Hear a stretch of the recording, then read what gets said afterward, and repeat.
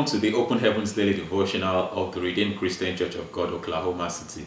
The Open Heavens Daily Devotional is written by our Father in the Lord, the General Overseer of the Redeemed Christian Church of God, Pastor E.A. Adeboye.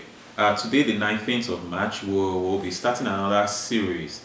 Uh, it's, the series is titled The Fire. So today, uh, the topic of our devotional is The Fire Part 1.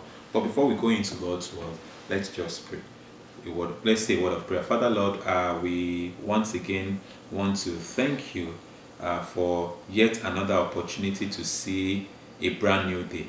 God, as we are starting our day, our morning in your presence, and as we are feasting on your word, that God open our eyes and nourish our spirits in the name of Jesus. That God, as your word will be coming out, that God, whatever needs to be changed, whatever needs to be consumed, whatever needs to be refined, whatever needs to be burnt, whatever needs uh, to uh, to be changed for good in our lives, that God will pray your word will come out and change and refine us and renew us in the name of Jesus. Thank you, Lord, for in Jesus' name we have prayed. Amen. Once again, the topic is the fire, the fire part 1. And our memory verse is taken from the book of Acts of Apostles chapter 2 verse 3.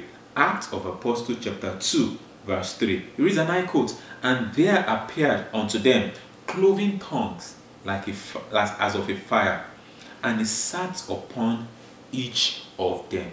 It sat upon each of them as God has actually promised. The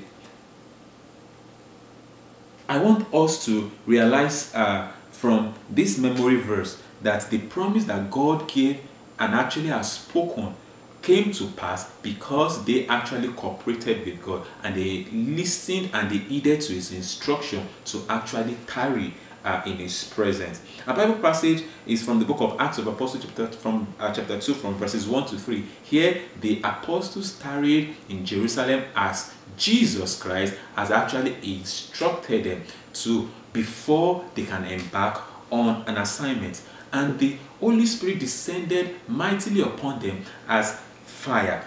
I want us to realize in this uh, Bible passage that because they were equipped with the Holy Spirit, because they were equipped with the potent power from on high, they became potent. If you want your life to be potent, if you want your spiritual life to be potent, if you want everything about you to be potent, you need to tap your strength from that potent and powerful one. Our memory verse for today tells us straight away that there is a link between the Holy Spirit and fire. In Exodus chapter 3, verse 2, the Spirit of God spoke to Moses as fire burning in a bush. This was no ordinary fire, as the bush was not consumed. In Hebrews chapter 1, verse 7, which said, And the angel, and of the angel he said, Who maketh his angel spirit and his minister a fire of flame. Every believer is a minister. Every believer, that is God's plan. Every believer is meant to be a minister. God does not want us to remain where we are. You are a minister. It doesn't mean that you might occupy an office in the ministry to be a minister. You're a minister. Either in the ministry or in the marketplace. You're a minister. And God is saying that he made his minister a fire of flame. God wants you to be a fire of flame. God wants you to be potent. God does not want you to be pushed around. God wants you to stand on your authority as, your, as a believer. And the only way you can stand on your authority as a believer is you knowing your authority and actually tapping into the strength which is about to uh, impact on you. Hebrews chapter 12, verse 29 says, Our God is a consuming fire.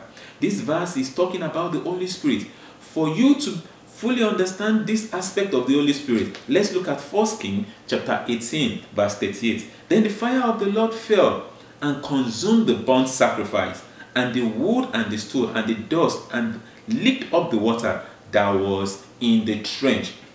When the fire came, the fire burnt something. The fire changed some things. You see, when the fire of the Lord comes upon you, when the power of the Lord comes upon you, when the hand of the Lord uh, rests upon you, there are some things in your life that will be changed. There are some things that uh, cannot go with you to the place where God is about to take you. And it's important for us to cooperate with Him. And when you cooperate with Him, and when those things are shed off, God will refine you and you become brighter, you become sharper, and you will be able to be much more potent to carry out the assignment He has for you. When Elijah prayed, and fire fell from on high. It consumed the offering, the wood, the stone, licked up the water, and dust around about the altar. This is certainly no ordinary fire. The fire of the Lord will descend upon you in the name of Jesus, and you become potent for Him in the name of Jesus. When you see a man who has the fire, tread gently around him. Do not take the presence of God for granted. Do not take the potency and the power of God for granted. Ananias and Sapphira were careless with the fire and paid with their lives. The fire also must not be grieved. When Jesus says that blaspheming against the Holy Spirit will not be forgiven, it is because the Holy Spirit is fire and carelessness can be fatal. That is why I pity with people who fake speaking in tongues and joke with it. If only they knew who they are toying with, they will never try that. The fire of the Holy Spirit is not the exclusive right of a limited number of people. Once again, the fire of the Holy Spirit is not the exclusive right of a limited number of people. It is for every individual who is willing to pay the price. It's for every individual who is willing to heed to his instruction. It's for every individual who is willing to cooperate with him. The scripture says that God is not a respecter of person.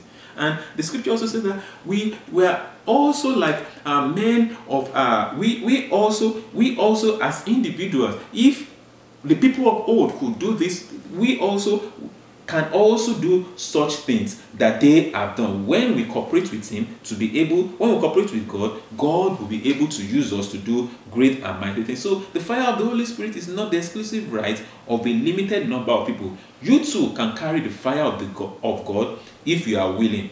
It was not only the apostles it was all, not only the 12 that were equipped with fire from on high the 12 and the other 120 people that actually tarried uh, in Jerusalem, including Mary, the mother of Jesus Christ, and even Jesus' brothers. It was not only the apostles that were in the upper room when the fire of the Holy Spirit came, but it rested on every single one of them, including Mary, the mother of Jesus, and his brothers. Acts of Apostles, chapter 1, from verses 13 to 14. The fire of the Holy Spirit can come upon you if you only you can lead a life of intense prayer and supplication if you are willing to pay the price, if you are willing to go on your knees, if you are willing to uh, tarry with Him, if you are willing to spend time with Him, if you are willing to go extra mile with God, God will deposit that treasure in you. The question is this we as believers, are we willing to pay the price? Are we willing to be intimate with Him? Are we willing to go the extra mile and actually heed to Christ's instruction? Tarry in Jerusalem. Don't even consider carrying out the assignment. Yes, it's an assignment I want you to carry out. It's an assignment ahead of is this is the assignment that I've planned, and this is the assignment that's ahead of you. I want you to do this, but don't even try that without you being equipped from power from on high, without you spending time with me.